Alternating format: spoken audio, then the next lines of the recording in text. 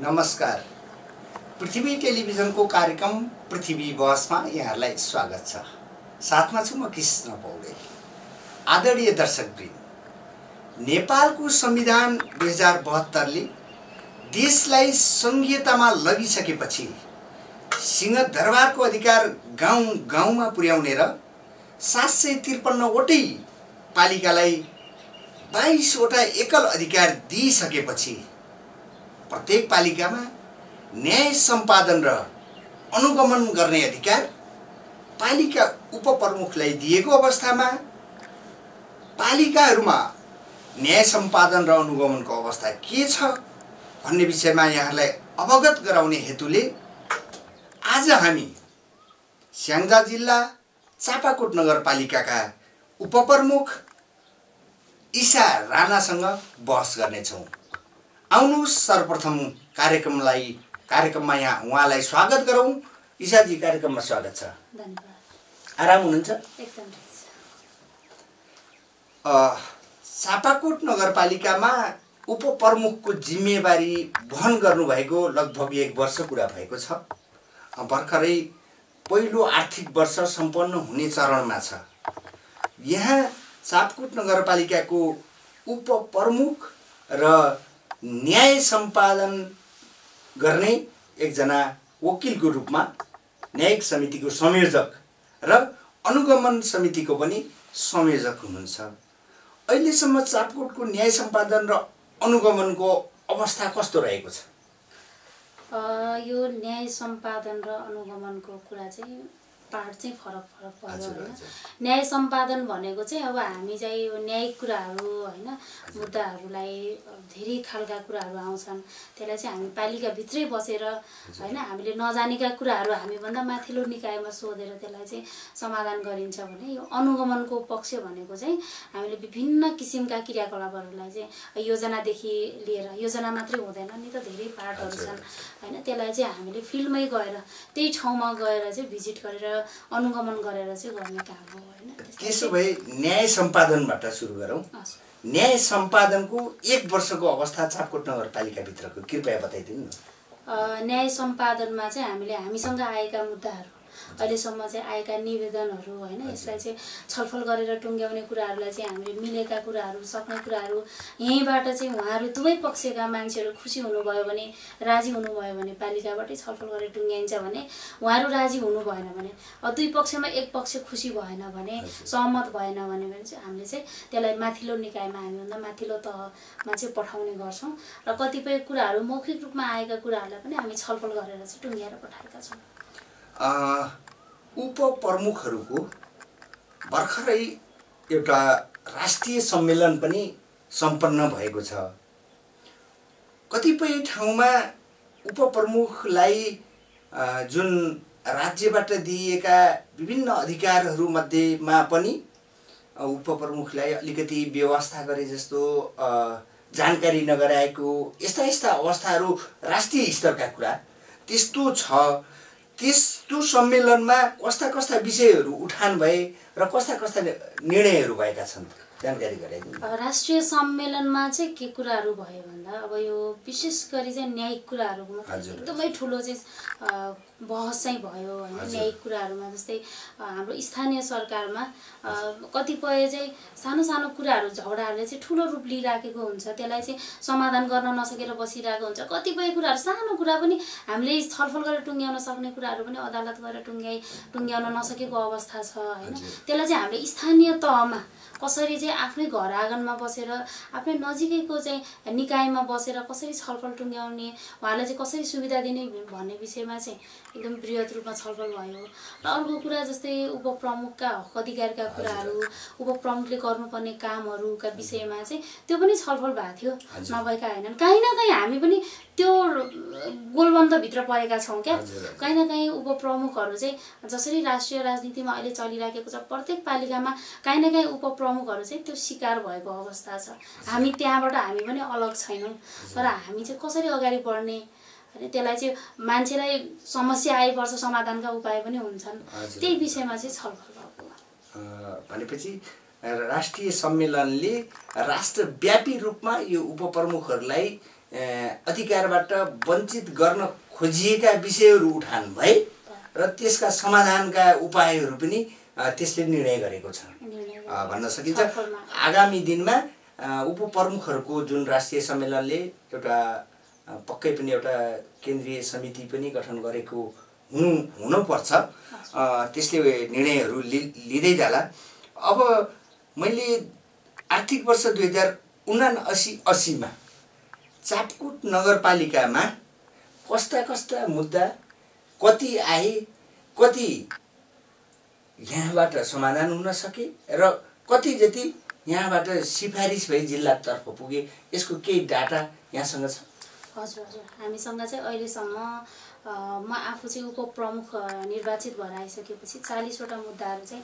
दर्ता भएको छ पालिकाभित्र होइन? पालिकामा। र यस पछाडि हामीले सत्ताइसवटा मुद्दाहरू चाहिँ छलफल गरेर हामीले सकाएका छौँ। त्यो मध्ये पनि सत्ताइसवटामा पनि हामीसँग चाहिँ यो मिलापत्र चाहिँ छवटा भएको छ पालिकाबाटै मिलापत्र भएर छवटा गएको छ होइन। अनि हामीले चाहिँ यहाँबाट नसक्ने भएर यहाँ मिल्न नचाहेको हुँदाखेरि। एघारवटा चाहिँ हामीले अदालतमा चाहिँ हामीभन्दा माथिल्लो निकायमा चाहिँ हामीले सिफारिस गरेर पठाएका छौँ। र यसरी चाहिँ निवेदन फिर्ता चाहिँ एकवटा भएको छ होइन। एउटा निवेदन चाहिँ उहाँहरूले चाहिँ इच्छा आफ्नो इच्छाले स्वइच्छाले चाहिँ उहाँहरू मिल्नुभयो अथवा के भयो त्यो चाहिँ थाहा भएन तर उहाँले चाहिँ स्वइच्छाले चाहिँ निवेदन फिर्ता लिनुभएको छ अँ, अरू कतिपय निवेदनहरू चाहिँ हामीले क्षेत्राधिकारभित्र पर्दैन। होइन त्यसमा चाहिँ हाम्रो दुईवटा निवेदनहरू चाहिँ क्षेत्राधिकार सम्बन्ध विच्छेद अनि त्यो फौजदारी मुद्दाहरू हुन्छ होइन त्यस्ता भएका चाहिँ। हामीसँग चाहिँ दुईवटा मुद्दा रहेका थिए हामीले चाहिँ क्षेत्राधिकारभित्र नपर्ने भएकोले त्यो। फिर्ता गर्छ त्यसपछि हाम्रो चाहिँ छलफल हुन बाँकी जम्मा दसवटा मुद्दाहरू छन्। होइन अहिले छलफल हुन बाँकी छ हामी लगत्तै छलफलमा पनि जान्छौँ र अब हामीले चाहिँ त्यो जति बाँकी छ नि त्यो। मुद्दाहरूलाई चाहिँ हामी छलफल गर्ने तयारीमा छौँ मैले सात सय त्रिपन्नवटा नेपालका स्थानीय पालिकाहरू स्थानीय निकायहरू जसमा दुई हजार चौहत्तर सालमा प्रथम यो सङ्घीयतापछिको पहिलो स्थानीय निर्वाचनबाट जनप्रतिनिधिहरू छनौट हुनुभयो त्यसपछि अभ्यासमा के आयो भने मुद्दाका पक्षहरूलाई दुवै पक्षलाई जितको महसुस हुने विन विन भन्छ नि। जितको महसुस हुने गरी एकजना नेपालका मेलमिलापका फा फादर अफ मेडिएसन भनेर चिनिन्छ महेन्द्र विष्ट डाक्टर महेन्द्र विष्ट। उहाँले देशका धेरै पालिकाहरूमा सायद चापाकोट नगरपालिकामा पनि त्यो कार्यक्रम भएको हुनसक्छ। मेलमिलापकर्तालाई तालिम दिने र प्रत्येक स्थानीय सात सय त्रिपन्न पालिकाभित्रका वडा वडामा मेलमिलाप केन्द्र स्थापना गर्ने भन्ने अभियान आएको थियो। त्यसको बारेमा कृपया यो चापकोट नगरपालिकाभित्र मेलमिलापकर्ता र मेलमिलाप केन्द्रको विषयमा केही जानकारी कृपया गराइदिनु। पक्कै पनि हाम्रो के छ भन्दा यो वडाहरूमा चाहिँ कस्तो भन्दा पालिका चाहिँ कोही अब पालिकाको नजिक हुन्छ कोही चाहिँ अलि लेकको भेगमा हुन्छ।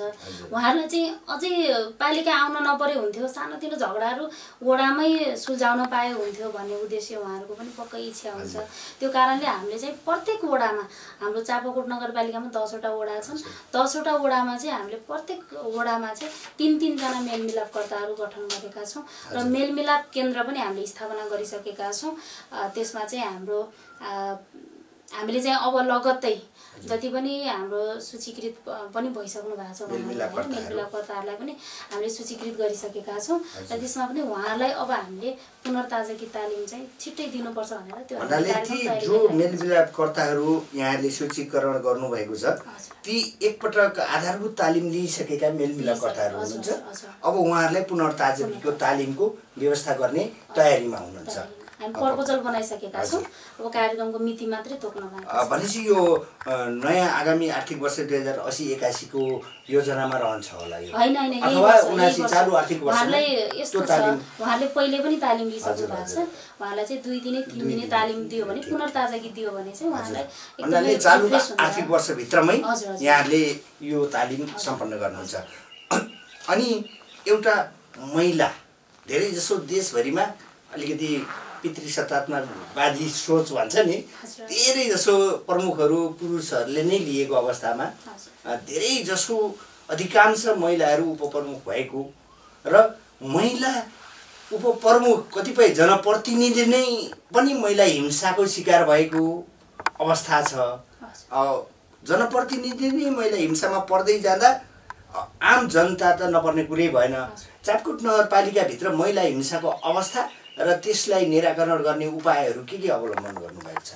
कृपया। नगरपालिका जुन हाम्रो नगरपालिका क्षेत्रफल छ त्योभित्र महिला हिंसा कहीँ न कहीँ चाहिँ देखिन्छ। किनभने कतिपय आउनुहुन्छ मलाई मेरो बुढाले पिट्यो जाँड रक्सी खाएर कुट्यो भनेर आउनुहुन्छ। त्यो कुरा चाहिँ अझैसम्म काहीँ न काहीँ बाँकी नै छ। सकिसकेको अवस्था छैन। र जहाँसम्म कुरा रह्यो यो जनप्रतिनिधिको विषयमा महिला जनप्रतिनिधिहरू आफै हिंसामा पर्नु भएको भन्ने कुरा चाहिँ हामीले जनप्रतिनिधिहरूको त्यस्तो हिंसामा परेको चाहिँ हामीले देखेका छैनौँ। र काहीँ न काहीँ हामी चाहिँ के छ भन्दा जस्तै अघि हजुरले भन्नुभयो यो पितृ सत्तात्मक। देश भनेर त्यो कुरामा चाहिँ काहीँ न काहीँ हामी घुमिराखेका हुन्छौँ कि हामी परिराखेका हुन्छौँ। तर के छ भन्दा मान्छेलाई जिन्दगीमा चाहिँ समस्या पऱ्यो भनेर समस्याबाट भागेर भएन समाधानको उपायहरू पनि हुन्छन् होइन। त्यसलाई चाहिँ हामीले समाधान गर्दै जाने हो। अब समस्या आएर मात्रै हामीले समा समाधान खोज्ने हो नि त। त्यो भएर हाम्रो चाहिँ त्यस्तो जनप्रतिनिधिहरूमा त्यस्तो देखिएको चाहिँ छैन अहिलेसम्म। पक्कै पनि नदेखियोस् कामना गर्छौँ। र न्याय सम्पादनका विषयमा धेरै पहलहरू मेलमिलापकर्ताहरू सूचीकृत गरेर प्रत्येक वडामा मेलमिलाप केन्द्र राख्नुभएको अत्यन्तै सकारात्मक पाटो यहाँले प्रस्तुत गर्नुभयो।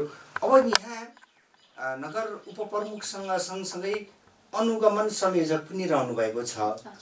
अनुगमनको पाटोमा यहाँले कस्ता कस्ता क्षेत्र जस्तै नगरपालिकाभित्र भएका सबै शाखाभित्र पनि अनुगमन गर्नुपर्ने हुन्छ। योजनाहरूको अनुगमन धेरै क्षेत्र छ अनुगमनको क्षेत्र। यहाँले कसरी त्यसका भूमिका निर्वाह गर्दै अगाडि बढ्नुभएको छ? यो अनुगमनको पार्टलाई चाहिँ हाम्रो वडामा पनि प्रत्येक वडामा अनुगमन हजुर, हुनुहुन्छ होइन? पाँच लाखसम्मको योजनाहरू चाहिँ उहाँहरूले अनुगमन गरिराख्नु भएको छ। त्यहीँको प्रत्येक वडाको चाहिँ सम्बन्धित प्राविधिकले मूल्याङ्कन उठाएर पठाउनु भएको छ हामीले त्यही आधारमा भुक्तानी दिइराखेका छौँ भने। पाँच लाखभन्दा माथिका योजनाहरूलाई चाहिँ म आफै स्वयं गएर मैले दुई तिन दिन भयो सुरु गरेको अनुगमन होइन। म आफू पनि अब थोरै बाहिर भएको कारणले चाहिँ अब छिटो गर्न सकिएन त्यसमा पनि अझै हामीले चाहिँ अलिक फास्ट गर्नु पऱ्यो भनेर मैले चाहिँ एक दिनमा दुईवटा तिनवटा योजना वडामा चाहिँ अनुगमन गर्ने भनेर त्यसरी म लागिराखेको छु। अहिले चाहिँ मैले दुई तिनवटा वडाहरू चाहिँ अनुगमन गरिसकेँ। अब बाँकी वडाहरूलाई चाहिँ अनुगमन गर्ने पाँच लाखभन्दा साना योजनाहरू वडाकै अनुगमन समितिले अनुगमन गर्छ र त्यसले गरेको सिफारिसको आधारमा फरफारक र भुक्तानीहरू भएका छन् भने पाँच लाखभन्दा माथिका योजनाहरू भर्खर दुई तिन दिन मात्रै भयो भनेपछि तिनीहरू सम्पन्न हुने चरणमा छन् र यहाँको अनुगमन पश्चात यहाँहरूले गरेको हस्ताक्षर सिफारिसबाट उनीहरूले भुक्तानी पाउनेछन्। पक्कै पनि योजना अनुगमन गर्दा उपभोक्ता समितिहरूमा केही समस्या देखियो?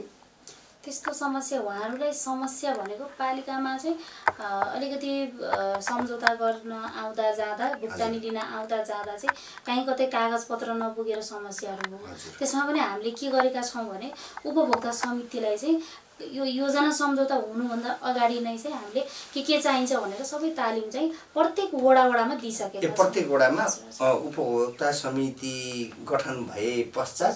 तिनीहरूका अध्यक्ष सचिव कोषाध्यक्ष मानव पदाधिकारीहरूलाई यहाँले वडा वडामा तालिम दिनुभएको छ र त्यसले गर्दा फरफारकमा त्यति धेरै समस्या आएको देखिएन त्यो पनि एउटा एक प्रकारको अनुगमन नै रह्यो र आगामी आर्थिक वर्ष दुई हजार असी एकासीमा योजनाहरू अनुगमन गर्न र न्याय सम्पादन सहजीकरण गर्नका लागि के कस्ता कार्यक्रमहरू यहाँहरूले राख्ने? अब सायद योजना तर्जुमा हुँदैछ। यो सङ्घारमा छ धेरै पालिकाहरूमा कतिपय छलफल सङ्कलन सुझाव सङ्कलन गर्ने देशैभरि असार दस गतेभित्र त सायद परिषद नै बसिसक्नुपर्ने भन्ने केन्द्रीय निर्देशन पनि छ क्यारे। कस्ता कस्ता योजनाहरूलाई यहाँले अगाडि बढाउने योजना बनाउनु यो न्याय सम्पादनको विषयमा चाहिँ हामी अलिकति जटिल रूपमा चाहिँ सोच्नुपर्ने हो कि जस्तो लाग्छ मलाई? किनभने न्याय पाएन भने मान्छेले चाहिँ जिन्दगीमा कहिले पनि उहाँले खुसी भएको महसुस गर्नुहुन्न त्यो कारणले हामीले चाहिँ यो जति पनि हामीसँग साथीहरू हुनुहुन्छ न्यायिक समितिको तिनजना सदस्य हामी छौँ नगरपालिकामा होइन हामीले चाहिँ अझै कसरी वृहत रूपमा उहाँहरूलाई चाहिँ अदालत पुर्याउन नपर्ने हाम्रो क्षेत्राधिकारभित्र नपर्ने त हामीले त्यो हेर्ने कुरा भएन होइन। हाम्रो क्षेत्र अधिकारभित्र पर्ने कुराहरूलाई चाहिँ उहाँलाई अदालतसम्म चाहिँ नपुर्याउनको लागि हामीले कसरी उहाँलाई पालिकाले चाहिँ फराकिलो रूपमा न्याय कसरी दिलाउने भन्ने विषयमा चाहिँ हामी गहन रूपमा सोचिराखेका छौँ। त्यसलाई चाहिँ हामीले कसरी फराकिलो रूपमा लैजाने भन्ने कुरा। र अर्को कुरा अनुगमनको पार्टलाई चाहिँ हामीले अब यसलाई चाहिँ सकेसम्म हामीले एकदमै हुन्छ नि हामीले नजिकबाट निहाल्नु पर्ने कुराहरू हुन्छ। कतिपय कुराहरू अब सबैले त्यस्तै गर्लान् भन्ने त छैन होइन? तर हाम्रो नजर नपुग्दाखेरि कहीँ कतै चाहिँ उपभोक्ता समितिभित्र बसेका केही मान्छेहरूले चतुर गरेर चाहिँ ठग्ने हो कि होइन? योजना राम्रो काम नबन्ने यताबाट पैसा भुक्तानी लिएर जाने त्यो गर्ने हो कि भन्ने कुराले चाहिँ हामीलाई त्यो चिन्ताले सताइराखेको छ। त्यसलाई पनि हामीले वडाका अनुगमन समितिलाई पनि हेर्न पठाउने। त्यस पछाडि चाहिँ हामी प्राविधिक गएर हामी आफै गएर नापतोल गरेपछि त्यहाँ गएर हेरिसकेपछि त उहाँहरूलाई चाहिँ उहाँहरूलाई पनि सहज हुने भयो। र हामी आफूले पनि चाहिँ हाम्रो हामीले जति योजनाहरू हालेका छौँ त्यो चाहिँ खेर नजाने भयो नि त। भनेपछि हामीले यो अनुगमन अहिले जेठ महिनाको अन्तिम अन्तिममा आइसकेको छ। असारको सायद पन्ध्र बिसभित्रमा सबै बिलहरू कतिपय पालिकाले त जेठ उन्तिस गतेभित्र भुक्तानी लिइसक्नुहुन्न भनेर सूचना हाम्रो टेलिभिजनले पनि प्रसारण गरेको छ कुनै कुनै पालिकाहरूमा। भने अब यो अन्तिम चरणमा आएर योजना सम्पन्न भए नभएको अनुगमन गर्न जाँदै गर्दा कहीँ कतै यहाँले यहाँकै शब्द सापट लिँदा टालटुल पार्ने ठकठाक गर्ने प्रवृत्ति कतै भेटियो कि? त्यो चाहिँ हुन्छ क्या। जस्तै अब कतिपय मान्छेले अपेक्षा राखिरहेको हुन्छ। कतिपय कुराहरू उहाँहरूलाई चाहिँ फाइदा होस् भन्दा पनि काम नसके पनि उहाँहरूले चाहिँ मूल्याङ्कन उठाइदिए। हामीले अलि लामो समयसम्म काम सम्पन्न गर्न पाउँथ्यौँ कि भन्ने हुन्छ। त्यो चाहिँ अब यो वर्ष टालेपछि अर्को वर्ष नै टाल्न खोज्नुहुन्छ नि त त्यही भएर हामी त्यो कुरामा एकदमै धेरै सचेत छौँ। अनि कस्ता कस्ता मैले अब अन्तिम अन्तिममा आएँ। जस्तै नगरपालिकाका सम्पूर्ण लागत सहभागिता नगरपालिकाको मात्रै प्रदेशको सहयोगमा बनेको सङ्घीय समानीकरण योजनामा परेका विभिन्न किसिमका योजनाहरू हुन्छन्। त्यसमा नगरपालिकाको साठी अथवा स्थानीयको चालिस सत्तरी तिस त्यस्ता योजना जुन प्रदेश केन्द्रले सिकायो नगरपालिकाभित्रबाट पनि त्यस्ता सत्तरी तिस साठी चालिस जस्ता योजनाहरू लागू भएका छन्। यो हाम्रो चाहिँ यो अहिलेको आर्थिक वर्षमा चाहिँ भएन त्यो साठी। चालिस अथवा चाहिँ उपभोक्ताले लगानी गरेर गर्ने कार्यक्रम चाहिँ यो वर्ष भएन। तर हाम्रो प्रदेश र सङ्घबाट आएका समपूरकका योजनाहरू योजना। पालिकाले फिफ्टी पर्सेन्ट। माथिबाट चाहिँ सङ्घ प्रदेशबाट चाहिँ फिफ्टी पर्सेन्ट गरेको योजनाहरू चाहिँ हामीसँग धेरै छन् काम लगभग सम्पन्न पनि भइसकेको छ। र त्यो चाहिँ अब भुक्तानी दिन मात्रै बाँकी छ त्यो कार्यक्रमहरू चाहिँ अब हामीले यो सा यो उपभोक्ताले लगानी गर्ने कार्यक्रमहरू पनि राख्नुपर्छ। किनभने मान्छे आफ्नो लगानी परेपछि त्यो त्यो मा त्यसमा चाहिँ माया हुन्छ क्या आफ्नो। लगानी परेपछि। त्यो चाहिँ हामीले त्यो साठी चालिस अथवा सत्तरी तिस पनि हुन्छ होइन। त्यसलाई चाहिँ हामीले त्यो कार्यक्रम ल्याउने पनि तयारीमा छौँ। ठिक छ।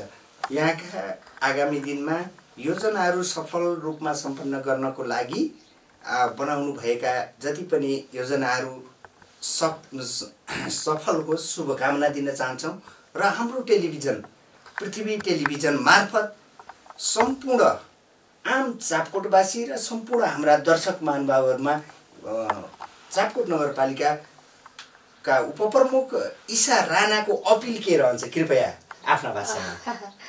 विशेष गरी त टेलिभिजन हेरेर बस्नुभएका सम्पूर्ण दर्शक महानुभाव मेरो नगरपालिकाभित्रका नगरपालिका बाहिरका सम्पूर्ण दर्शक महानुभावहरूलाई चाहिँ धेरै धेरै नमस्कार र धन्यवाद पनि छ। यहाँहरूको सुझाव सल्लाह चाहिँ जनप्रतिनिधिलाई सधैँभरि आवश्यक पर्छ।